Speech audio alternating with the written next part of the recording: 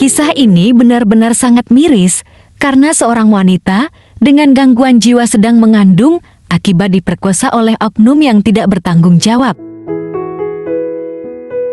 Kini, dari rahim wanita tersebut telah lahir ke dunia seorang bayi perempuan yang sangat cantik dan lucu. Proses persalinan wanita ODGJ yang malang tersebut dilakukan di Rumah Sakit Umum Daerah Guteng Tarunadi Brata, Kabupaten Perbalingga, Jawa Tengah. Bidan Dona Wahyuni yang membantu persalinan wanita penderita gangguan jiwa tersebut menuturkan fakta menggegerkan terkait pasien wanita yang awal mulanya dirujuk dari Puskesmas Bobotsari ke RSUD tiga hari sebelumnya.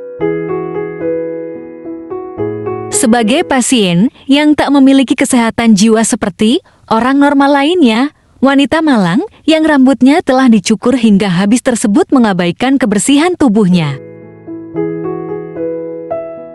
Hal tersebut terlihat sangat jelas karena tubuhnya sangat kotor dan banyak debu-debu yang menempel pada sekujur badannya. Dan setelah wanita tersebut dimandikan, wanita tersebut dipakaikan baju yang lebih layak dari sebelumnya. Sementara itu, kuku jarinya yang telah memanjang dan sangat kotor penuh dengan tanah tersebut akhirnya dipotong serta dibersihkan. Bidan Dona menceritakan sesuatu yang bikin merinding, yakni ketika dia bertanya sudah berapa lama wanita tersebut tidak mandi. Waktu Bidan Dona memandikan wanita tersebut, Bidan Dona menanyakan kepada wanita tersebut bahwa dia sudah tidak mandi berapa tahun. Dan wanita tersebut menjawab bahwa empat tahun dia tidak mandi.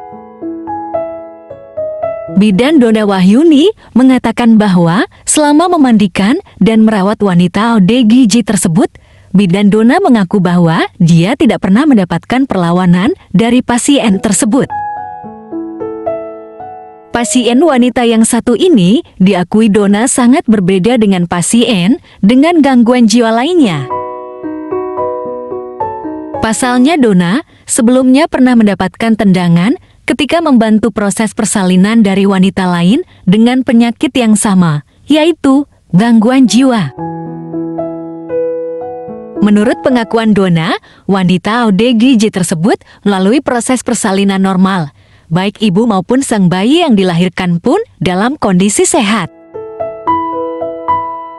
Tidak hanya membantu wanita dengan gangguan jiwa tersebut untuk melahirkan saja, bidan yang satu ini bahkan membantu merawat dan membersihkan tubuhnya. Saat ini, ibu dari bayi perempuan yang baru saja lahir itu lebih banyak diam dan murung ia bahkan tidak pernah menanyakan bayi yang baru saja dilahirkannya.